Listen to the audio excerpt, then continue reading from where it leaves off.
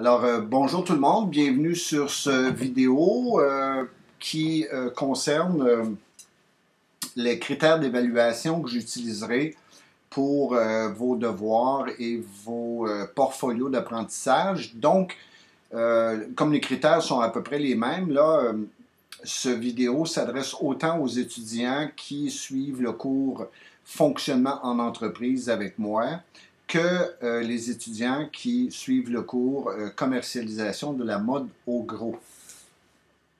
Alors, euh, comme vous ne lisez jamais les grilles d'évaluation, même si on les met en disponibilité, je vais vous les expliquer verbalement et c'est important que vous les compreniez bien pour ne pas avoir de surprise lors de vos évaluations. Alors, j'utilise principalement, moi, six critères globaux et je vais les expliquer un à un, euh, évidemment avec des différents niveaux d'évaluation euh, qui débutent avec insuffisant et qui se rendent jusqu'à excellent en passant par suffisant, bien, très bien. Euh, le, premier de ces critères se lit comme suit. L'étudiant rédige son portfolio ou son devoir de façon complète et professionnelle. Qu'est-ce que ça veut dire? Rédiger un devoir ou un portfolio de façon complète et professionnelle, c'est au niveau du formatage et de la présentation de vos travaux.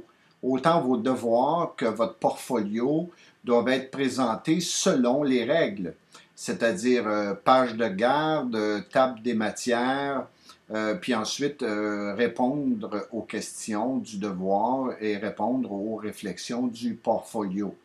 Euh, dans le cadre du portfolio d'apprentissage, il est évident que vous pouvez très bien y faire une introduction au portfolio. C'est quelque chose que, je, vous laisse libre de faire, mais qui est bien de faire aussi. Euh, quand on parle de formatage et de présentation, c'est au niveau du, des textes justifiés, c'est au niveau du type de, de, de, police que vous allez utiliser, qui est, qui est la même euh, partout, peu importe la police que vous choisirez. Euh, je vous recommande la police Verdana, qui est, qui est très bien, qui se lit très bien. Euh, je vous demanderai de ne pas me rédiger vos devoirs et vos portfolios dans des polices euh, de genre script très fancy. Là. Euh, ce n'est pas le but quand on fait un devoir d'avoir des choses de ce type. Donc, les polices comme Time Roman, Verdana, sont des polices qui sont quand même très très bien pour la rédaction et qui se lisent très bien. Donc, euh, formatage et présentation. On vous l'aura montré en première année euh, comment, rédiger un devoir avec Word. Et c'est important que vous respectiez ces principes euh, au niveau de la présentation de vos travaux. Le deuxième critère, évidemment, s'intitule comme suit, se lit comme suit, l'étudiant réalise toutes les activités et exercices demandés. Alors évidemment que pour un devoir, pour une réflexion dans le portfolio, vous allez voir que pour vos réflexions, à l'occasion, il y aura euh, deux, trois questions, cinq questions, six questions. Euh, pour euh, les devoirs aussi, il y aura des questions, il y aura des, des, tâches à faire en plusieurs étapes. Donc, évidemment que là, il y a le critère que vous faites tout ce que je vous demande. il ne manque rien. et donc, euh, c'est important de tout faire.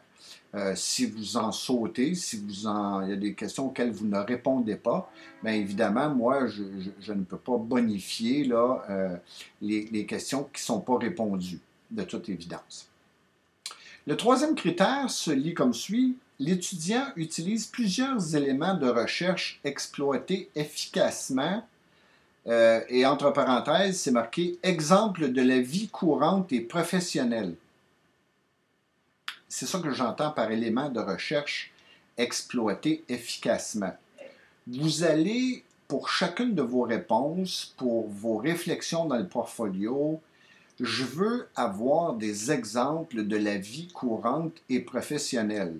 C'est ma façon à moi de voir si vous comprenez bien. Alors, par exemple, si je vous demande de m'expliquer une notion en particulier, et que vous l'expliquez en vos mots, moi, pour savoir si j'ai bien compris, il faut que vous me donniez des exemples pratiques, que je puisse voir si vous n'avez pas juste recopié euh, en vos termes euh, la définition que vous avez trouvée dans un texte. Et il ne faut surtout pas faire ça.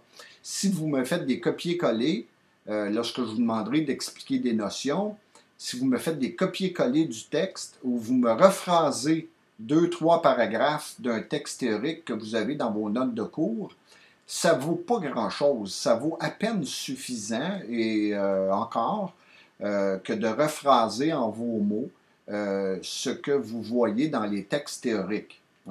Alors, si vous voulez avoir juste suffisant comme note, ce qui est à peine 60, et même des fois ça peut être insuffisant, ben, il ne faut surtout pas faire ça. Et, donc, il faut expliquer dans vos mots, il faut que vous me démontriez là, que vous avez compris l'explication théorique du texte.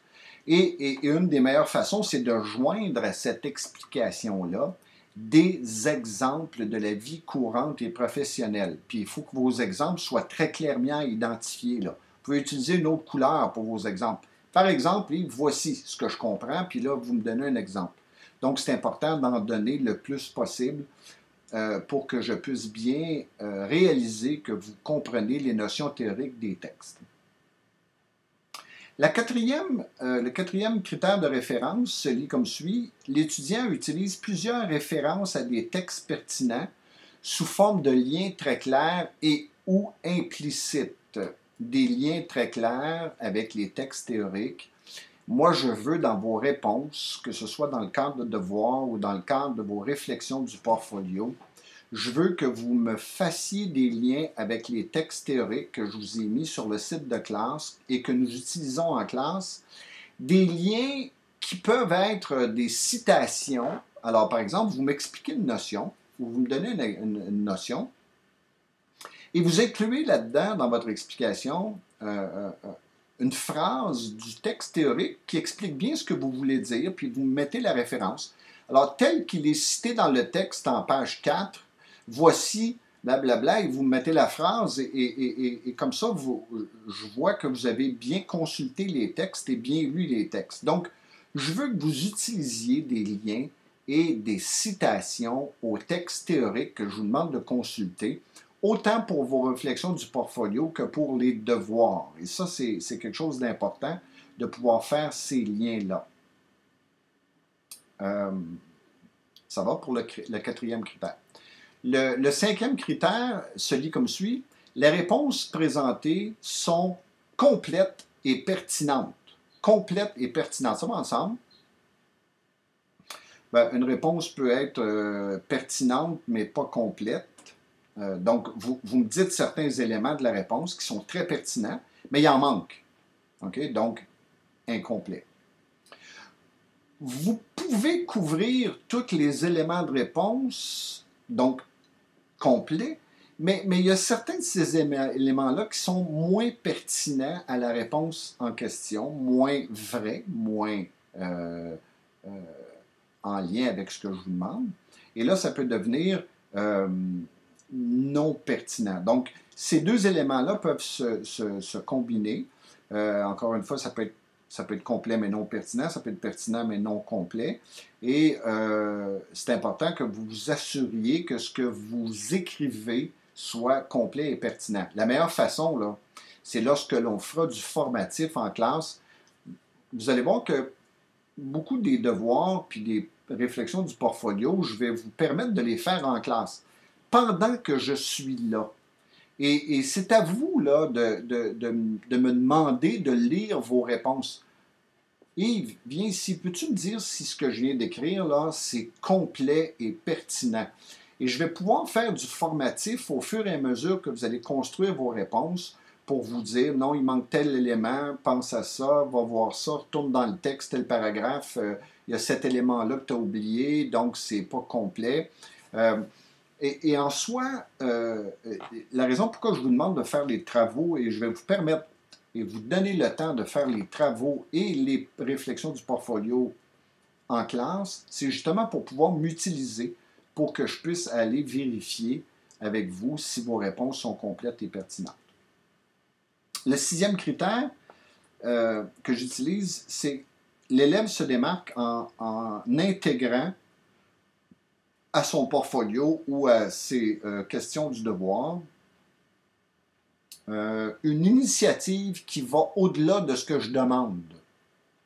Bon, ça ne veut, ça veut pas dire que si vous ne mettez pas une initiative qui va au-delà de ce que je demande, que vous pouvez ne pas avoir 100 ou tout bon quand même. Euh, par contre, ça augmente vos chances si vous avez une petite lacune dans les autres critères. Qu'est-ce que j'entends par une initiative qui va au-delà de ce que je demande? Eh bien, c'est simplement de, de, fouiller un peu plus loin euh, vos, vos, réponses, euh, soit par exemple en allant sur Internet pour essayer de trouver un autre texte euh, complémentaires à ceux que j'ai sur le site et qui vous permettent de faire vos devoirs et vos réflexions du portfolio. Donc, fouillez, recherchez, explorez, trouvez un autre texte qui complète. Euh, j'ai trouvé un autre texte Yves et voici le lien que je puisse aller le vérifier moi. Et, vous utilisez autre chose pour répondre. Vous allez plus loin que ce que je demande. Plus loin que ce que je demande, c'est aussi, par exemple, ça peut être aussi dans le nombre d'exemples que je vous demande. Alors, euh, par exemple, si vous avez une seule question dans un devoir, et, pour cette question-là, je vais vous demander de me donner un exemple, aller au-delà, c'est d'en donner trois, quatre exemples. Par, euh, alors ça, vous pouvez le faire facilement. Euh, si, par exemple, vous répondez à une question dans le portfolio et que c'est sur un seul sujet et un seul texte, euh, et que vous me mettez une citation au texte avec une référence, euh, ça, c'est, c'est, ce que je vous demande. Ben, rien ne vous empêche d'en mettre deux, trois citations, deux, trois liens avec le texte, d'en faire un peu plus et, ce un peu plus-là, cette situation d'aller au-delà de ce que je demande dans les exercices d'appropriation, bien, ça vous permettrait, par exemple, de combler certaines lacunes sur d'autres critères et d'avoir de meilleures notes encore. Donc, encore une fois, euh, l'approche que je fais au niveau de l'évaluation, c'est une approche positiviste, c'est-à-dire que moi, je, ne pars pas du principe que euh, je vous enlève des points euh, en disant ah, ça c'est pas bon, ça c'est bon, ça c'est pas bon. Je pars du principe que je, vous construis des points. Donc, à vous de, de, respecter ces six critères-là et il n'y a pas de raison pourquoi vous n'auriez pas toujours très bien et excellent dans vos devoirs et dans votre portfolio si vous respectez les critères que je vous demande. Et, pour les respecter, il faut aller les lire. Donc, euh, une fois que je viens de vous les expliquer ici verbalement, je vais vous demander de les ouvrir, ces critères-là, sur le site de classe et de bien les lire pour bien les faire. Euh, et, c'est à vous, à ce moment-là, de euh, prendre en main les travaux que vous faites.